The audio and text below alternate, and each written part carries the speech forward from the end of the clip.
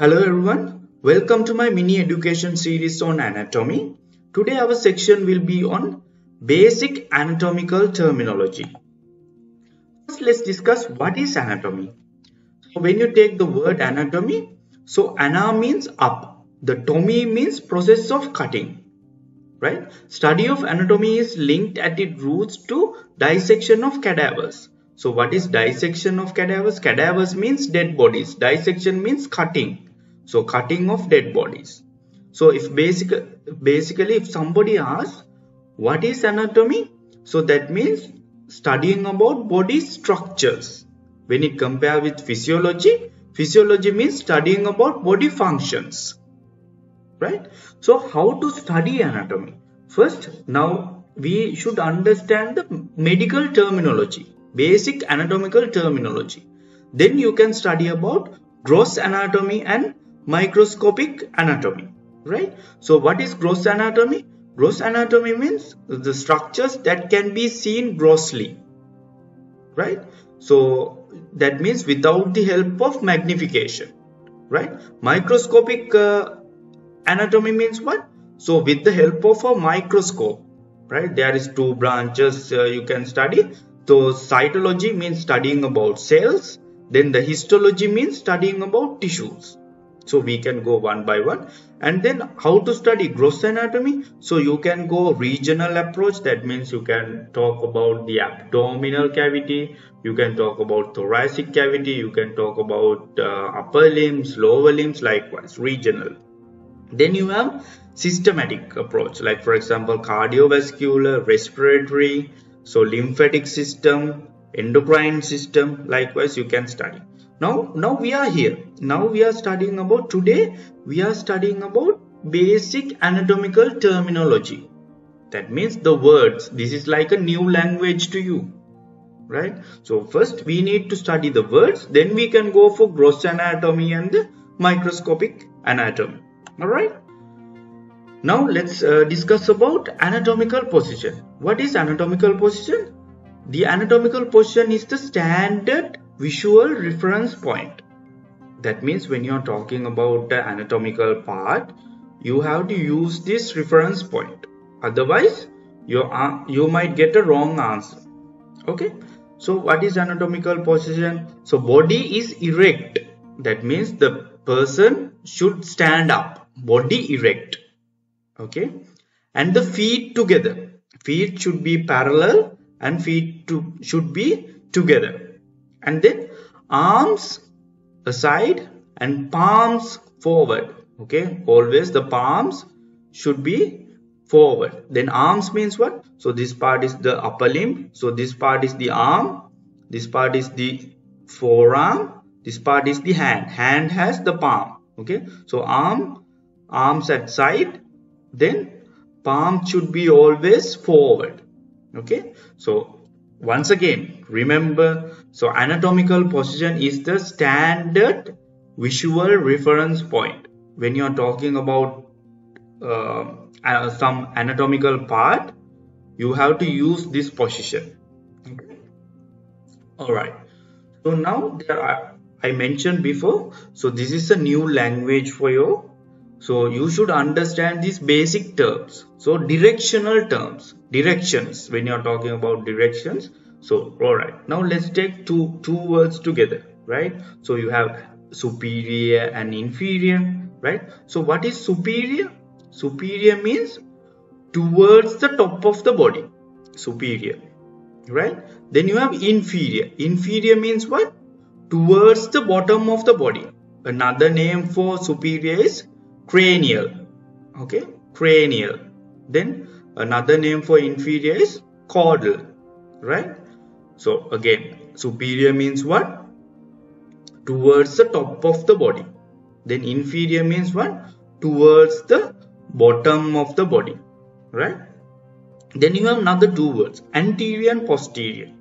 Anterior means basically front. Posterior means basically back. Right? So what is anterior means towards the front of the body. Another name you call it ventral. So anterior means front. The posterior means back towards the back of the body. Another name is dorsal. Ventral and dorsal two words are also being used right? Then there is something called medial and lateral. So medial means what? Towards the midline of the body. Medial means what? Towards the midline of the body. Now um, lateral means what away from the midline of the body. Away from the midline of the body. Right? All right another two words are there. What are these two words? Proximal and distal. Right? What is proximal? Now when you are talking about uh, proximal and distal there, there should be always be a point of attachment. Now let's take like here uh, as an example. Now let's take this shoulder as the point of attachment now if you are talking about uh, the the clo situated closest to the point of attachment now this arm is very close to point of attachment. Then you can call it th that is the proximal part right?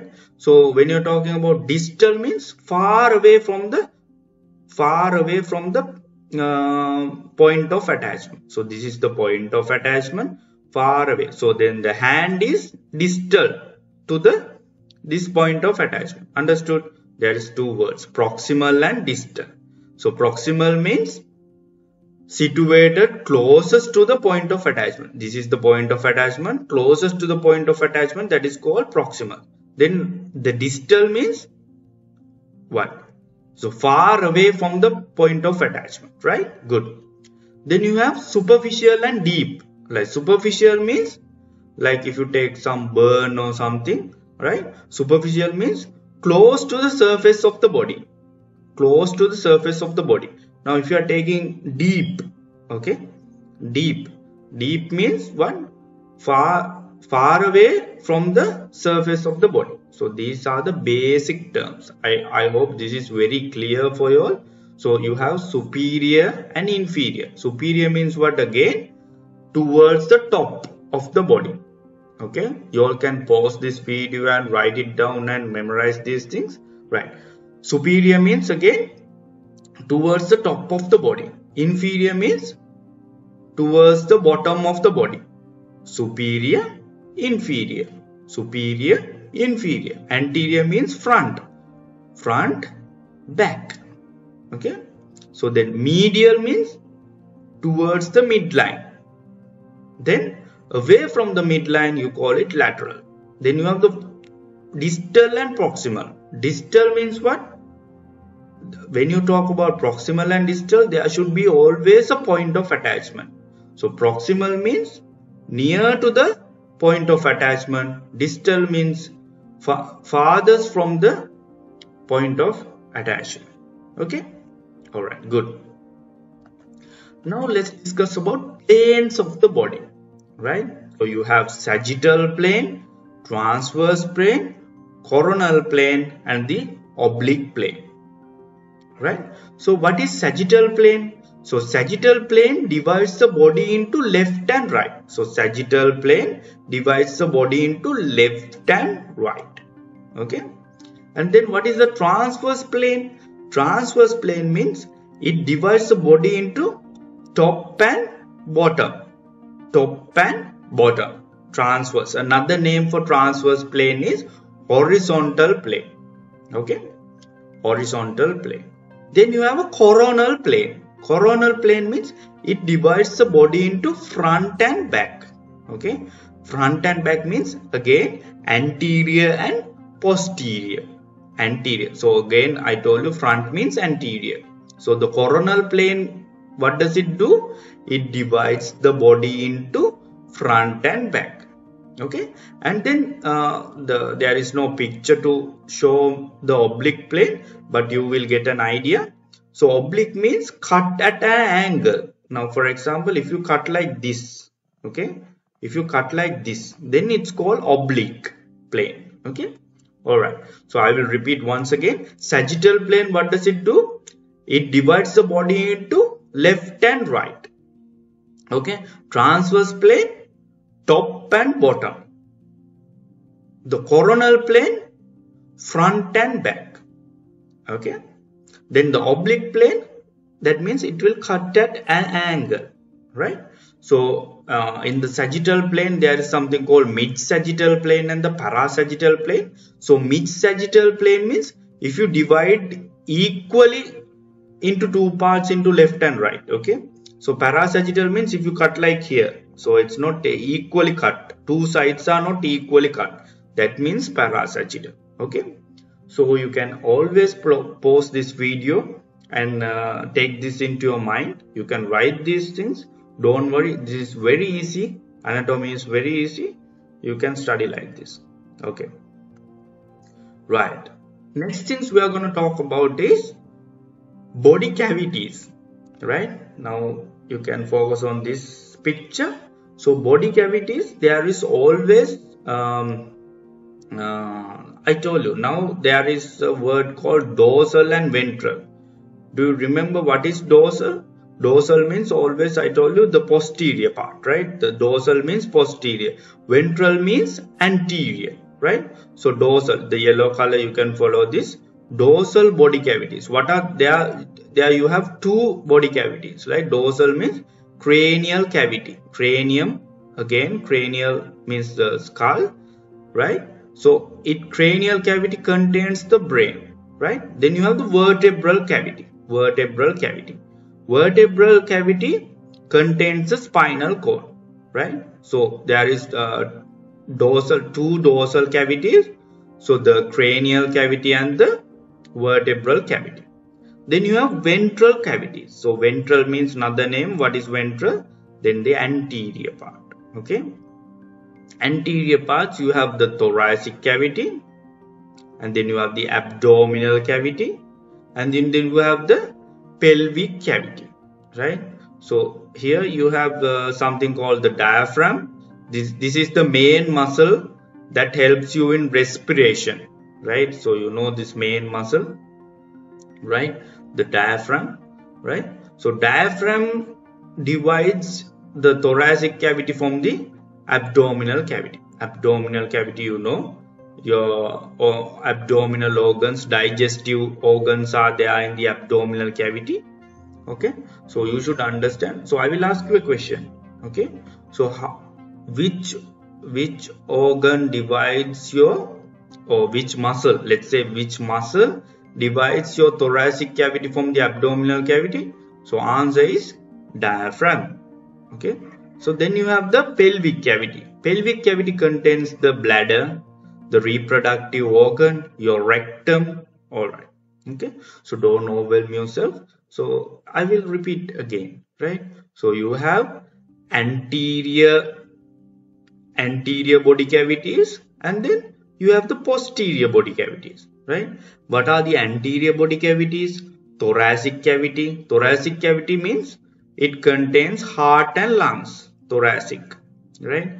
And then you have the abdominal cavity. Abdominal cavity has digestive organs. Then you have the pelvic cavity. Pelvic cavity contains your urinary bladder reproductive organs and the rectum right?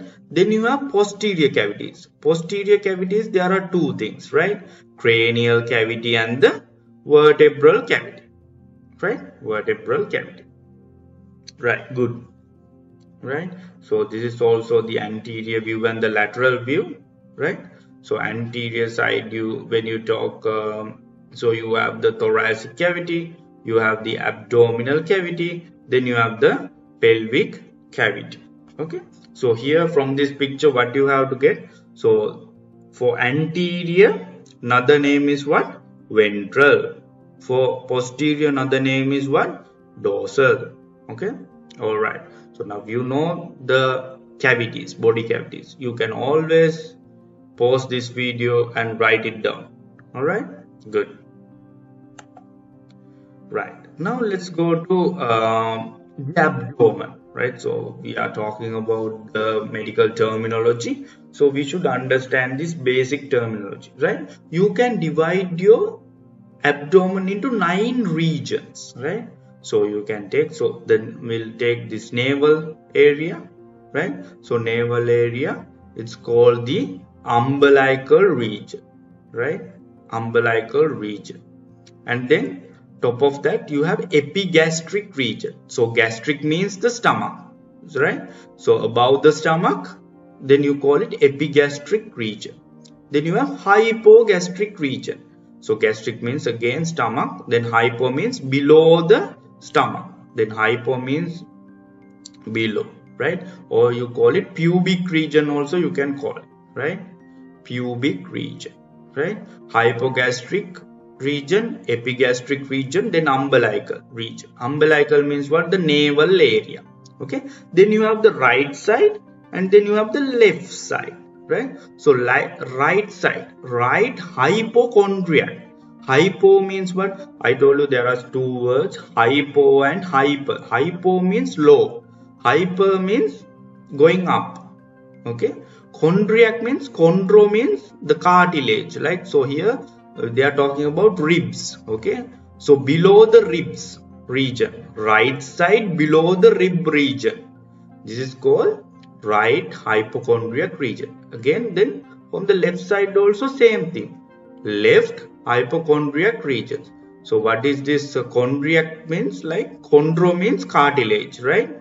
So below the cartilage right? Below the rib cartilage. So then you call it hypochondriac region. Then you have the lumbar where you have the kidney. So lumbar area. So right lumbar area and the left lumbar area. Then you have right iliac region. Okay. Right iliac region and the left iliac region. For now, just remember these things. You will uh, learn this uh, later when you are talking about these things, right? So nine regions of abdomen. These things is very important for you to um, study. So if i talk about when you are talking about abdominal pain if somebody is uh, if some patient is com complaining uh, saying there is an abdominal pain so if you don't know these nine regions you will be in trouble. Okay? So you will be in trouble. Right? So underneath these regions you know there are some organs. So it's easy for you to detect the disease. All right? So nine regions of abdomen. I hope everybody understood this section. So all right good. I will give you a question. What are the four abdominal uh, quadrants? Like uh, give me some innovative answers. Like you can leave your answer in the comment section. Okay? So now let's take i will i will help you in getting the answers there is right side there is left side there is upper and there is lower. Likewise think and give me the answer. Okay? So leave your answer in the comment section. All right good. I hope you are enjoying my lecture. Now let's go to anatomical landmark so there is lot of new words because we are learning a new language so this is the universal language for doctors, nurses, physiotherapists, all the medical professions. This is a language. Okay, so you should understand these words. Without knowing these words, you cannot uh, survive. Okay, now let's take and let's talk about anatomical landmarks. Okay, now let's take part by part. Let's take the head. Okay, so cephalic cephalic means the head. Cephalic or some people call cephalic okay? Cephalic means head right? This can be divided into two parts skull and the face. So skull is called cranial okay? Face is called facial okay? Then the forehead is called the frontal area. This is called the frontal area okay? Then the nose. Nose is called nasal nasal. Okay? So then you have the eyes. Okay? Then you have the eyes. Eyes is called ocular or orbital. Ocular or orbital. Right? So then you have the ears. Ears is called otic. Okay? Otic acoustic. Okay? Then the the buccal. Right? The buccal area is called the cheek okay buccal area is called the cheek okay so the mouth mouth is called oral mouth is called oral then the chin chin is called mental. Chin is called mental. Okay. So we have new words. Okay. We have new words. What are those? Cephalic, cranial, facial, frontal, nasal, ocular or orbital, otic, buccal. Okay. So the oral and mental. Okay. So that's the face. Okay. And then you have cervical. Cervical means what? Neck. Cervical means neck. Now if you take the thoracic region, right? If you take the thoracic region, thoracic means the chest. Thoracic, thorax or chest. So you have the breast. Breast is called mammary. Breast is called mammary. Then you have the abdominal region. Now we learned about nine abdominal regions and four abdominal quadrants right here the navel is called umbilical okay so navel is called the umbilical okay good right now so you have the upper limb upper limb is there so you have the axillary. Axillary means the armpit. Axillary means the armpit. Okay? Then you have brachial. Brachial. Brachial means arm. Brachial means arm. Then antecubital. Front of elbow. Right? Front of elbow. Now if you take this uh, um, upper limb so this part is called the arm. This part is called the forearm. And then uh, uh, down you have the hand arm forearm hand okay good so again now if you talk about the lower limbs the buttocks okay so then here the buttocks is called gluteus or the gluteal region. Okay, gluteus or the gluteal region. Right. So then you have the lower limbs. Okay. So lower limbs you have the thighs and then you have the leg and then you have the foot. Right. So then uh, back of the knee is called the popliteal. Back of the knee is called the uh, popliteal right then the calf is called the sural okay the calf is called the sural and then heel is called the calcaneus calcaneus then you have the sole or the foot is called planta okay? So this is you understood. Right? So this is the lower limb and the gluteal region. Lower limb and the gluteal region. Right? So again the upper limb. I told you so the front um, uh, here you have the uh, in the front you have the arm then you have the forearm and you have the hand. Okay? Right. All right good. Here you have the shoulder acromial. So acromial joint so cephalon or the cephalic means head right? Um, then the neck you have cervical okay? So i hope you have learned a lot. So again loin lumbar where you have the loin loin loin means the lumbar area. So where you have the kidneys okay?